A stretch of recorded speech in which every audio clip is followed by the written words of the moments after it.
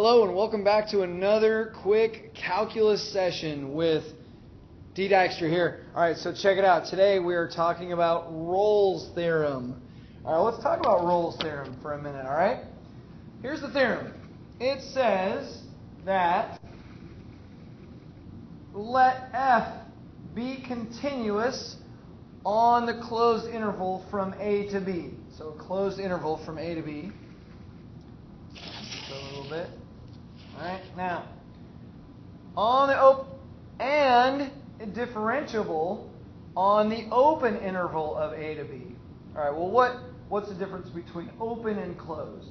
Well, a closed interval is when we have numbers that we can find inclusive of our x values. Okay, so we're going to look at numbers that are inclusive of that. Then, uh, open interval is their exclusive. So meaning I can go up to those numbers, but I can't use those numbers. And so we want to make sure that it is continuous from those two numbers, right, all the way, and that it is also differentiable between those. Because at those numbers, we don't necessarily need the, the differentiation of those two numbers, but everywhere in between we do. Okay, so that's kind of the, the difference between that. A, B. If a, f of A, is equal to f of B. Well, what is f of A? It is the y value of the function with A input, right?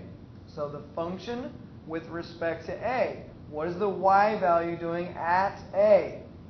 If that is equal to some other function of B, then there is at least, at least one C in AB that such that f of c is equal to 0. Well, what is f prime of c? Excuse me, f prime of c.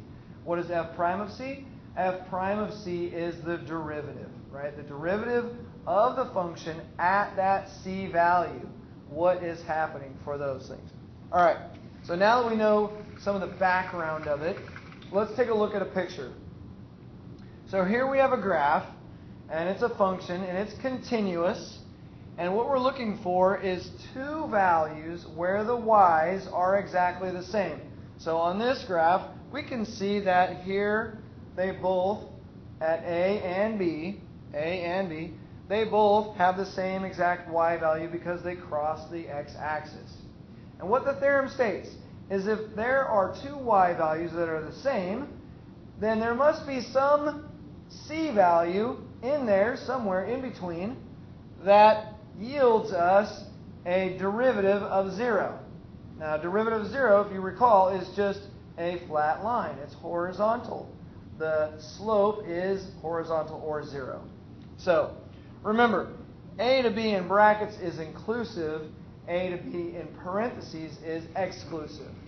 All right, so now it looks like this function meets the demands, so that's cool. Now let's look at a real example.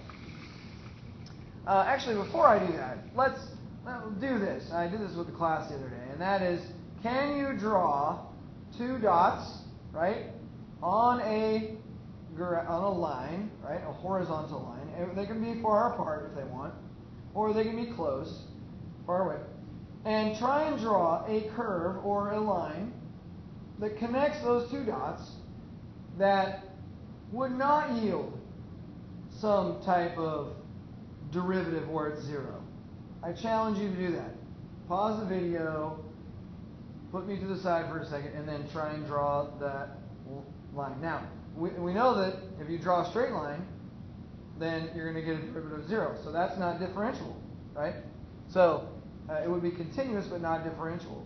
So two of the three things are met. So try and draw something where you can't connect. We did in class, and some people came up with some fairly creative uh, uh, drawing. But anyway, all right, here we go. Example number one f of x equals x to the fourth minus 2x squared. And the directions say find all the values of c uh, of c on the interval negative 2 to 2 such that f, pri- f prime of c equals 0. So we have to go through the list and ask ourselves, 1. Is the function continuous? Well, we should know that all polynomials are continuous. if you do run into a rational function, unless we closely restrict the x values, then we may run into an issue where we have a, um, a discontinuity. All right? So, because we have asymptotes and we have other things that might be hole, a slant asymptote, a vertical or horizontal asymptote. So, those are uh, a little more tricky. Now, we also have some root functions that may uh, cause an issue because uh, there is a point on a root function that the function just stops because it becomes undefined. Negatives under radicals aren't we can't have. So at those values of x, uh, they're outside the domain. So that means it's restricted. So is this a polynomial? Yes, it is. So yes is the answer to our question here. Is the function differentiable? Yes, it is. Since it's a continuous function and it's polynomial, we know that it is differentiable. I can take the derivative of it. So, here's what we do next. We double check and make sure is f of a equal to f of b? Well, f of negative 2 is equal to 8, and f of 2 is equal to 8 for our function. So yes, that checks. So uh, the three things that were in the theorem, if they uh, they work out, and so yes, we're good. So then we so, we go ahead and solve for the zeros, not the zeros, but the uh, where the first derivative is zero. Take the first derivative, 4x cubed minus 4x. We can set it equal to zero. We factor out a 4x. We notice that inside is left at x squared minus 1 which is a difference of two squares. Then I will set 4x as a factor equal to 0. And then these two factors, x plus 1 and x minus 1, those equal to 0. And so the three uh, c values that we get are x equals 0, x equal 1, and x equal negative 1. All right? So there you go. I'm D. Dykstra, and this has been your Calculus Minute on Rolle's Theorem. Thanks. Have a great night.